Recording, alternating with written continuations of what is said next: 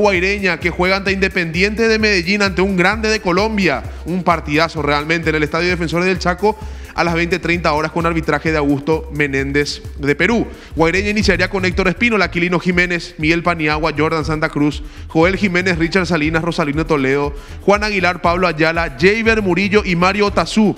El entrenador Troario Duarte. En el Deportivo Independiente de Medellín iniciarían Luis Ernie Vázquez, Juan David Bosquera, Víctor Moreno, Andrés Cadavid, Germán Gutiérrez, David Loaiza, Javier Méndez, Adriana Rey, Felipe Pardo, Luciano Pons y Jan Pineda, el equipo del profe Julio Comezaña. Repito, 20-30 horas en el Estadio Defensores del Chaco, el partido paraguaireña con arbitraje del peruano Augusto Menéndez.